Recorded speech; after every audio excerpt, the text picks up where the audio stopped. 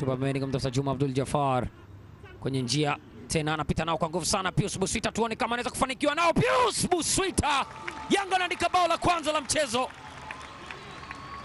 Pius Buswita, kasi ya umeme kwa nguvu sana, anachanja mbuga na kuangalia namna ambavyo safu ya ulinzi ya African Lyon imekaa, wapi ni salama zaidi, kushoto kulia, akampimia katikati.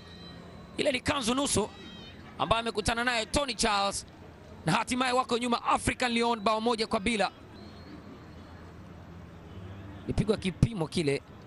Mchecheme mchecheme, lina mlango Tony Charles akaitikia tu. Oyae, akajikuta mpira ule kikwama kambani. Inahitaji ufundi. Nyakati nyingine pia na akili ya ziada kufanya vitu kama hivi, na Pius Buswita.